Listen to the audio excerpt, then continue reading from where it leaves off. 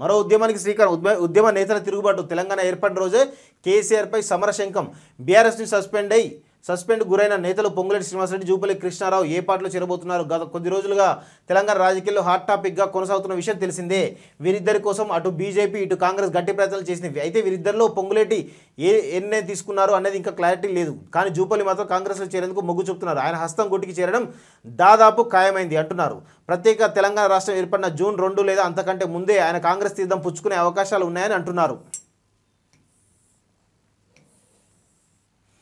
జూపల్లి తనతో పాటు ఉమ్మడి మహబూబ్నగర్కు సంబంధించిన కీలక నేతలు కాంగ్రెస్ పార్టీలోకి తీసుకెళ్తున్నట్టు సమాచారం. అంతేకాదు కాంగ్రెస్ పార్టీలో చేరగానే మరో ఉద్యమానికి శ్రీకారం తెలుస్తుంది. ఉద్యమకాలతో కలిసి కేసీఆర్ తిరుగు కేసీఆర్ కలిసి కేసీఆర్ తిరుగు కేసీఆర్పై తిరుగుబాటు చేయబోతున్నారు.